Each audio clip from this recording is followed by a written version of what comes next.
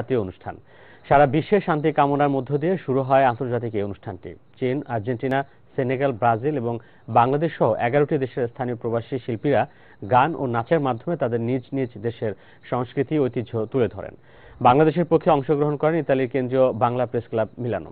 অনুষ্ঠানে বাংলাদেশ পর্বের শুরুতে বক্তব্য রাখেন কেন্দ্রীয় বাংলা প্রেস ক্লাব মিলানোর সভাপতি কামরুল হাসান নাজমুল, সেক্রেটারি ফেরদৌসি আক্তার পলি ও সাংগঠনিক সম্পাদক আহসান হাবিব। বাংলাদেশি কমিউনিটির প্রথম মসজিদ ইতালির মিলান সেন্ট্রাল মসজিদের উদ্যোগে অনুষ্ঠিত হল তাফসিরুল কোরআন মাহফিল। আবু হানিফ পাটোয়ারির তত্ত্বাবধানে ও মুজিবুর রহমানের সঞ্চালনা এবং সৈয়দ হুসাইন জুসিমের পরিচালনায় এই কোরআন মাহফিল হয়।